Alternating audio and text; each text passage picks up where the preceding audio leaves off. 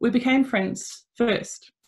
And um, then one day, Kate asked me what I was working on at the time, and I said, "Oh, you know, I've been working on um, an exhibition and some exhibition pieces, um, going back and finding old fairy tales where girls and women had their own agency. They, um, I, know those these stories are out there. Um, there have always been tales of brave young women and kind young women and bright young women who were having their own adventures and um, slaying their own dragons or not needing to slay the dragon after all. so um, yeah, we um, so I sent Kate that email and I heard back almost straight away from Kate saying, "Oh my goodness, so am I." and Kate, you'd been um, you'd been going back and finding those tales to retell. Um, and that felt like the most magical um, a, a connection, I suppose, right there. That's right. It was like the universe had brought us us together. And I must admit, you know, so I've been wanting for a long time to retell these old fairy tales. I didn't want to impose our modern feminist sensibilities on top of the existing story, I wanted to discover stories that had always carried um, these themes of you know feminine agency in their heart. And when I'd been, I'd spent quite a bit of time exploring Lorena's art, I was hoping that she would say to me, you know, I basically said to her, well, I've been writing these stories, but I, I can't create art.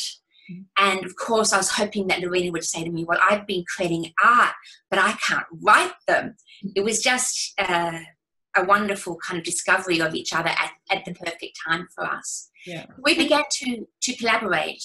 Um, and the months went past, and we would explore different stories. Lorena would send me art, and I would send her stories. And together, we built, um, we put together seven stories, which I thought was the perfect number, lovely fairy tale number. And then I said, well, now we have to find a publisher. And because our whole, I mean, at this point in time, Lorena and I had never met.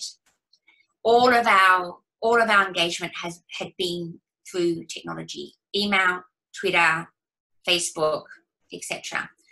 And so I thought, well, why don't I just test the waters? And so I put a post up on Facebook that said, I have long wanted to publish a collection of unjustly forgotten um, fairy tales that have uh, themes of, of feminine empowerment at their heart. I wonder if anyone would ever want to publish a book like that. And literally within seconds, we had a response um, from Monique Mulligan at Serenity Press going, Yes, yes, yes, we want to publish this book. And it, it, again, it just felt so right. It, it felt so natural and so serendipitous that, you know, I think that we were, I sent them an outline that day and we signed within a week or. I think so, yeah. was, was that Vasilisa? Yes. Or was there, yeah, yeah.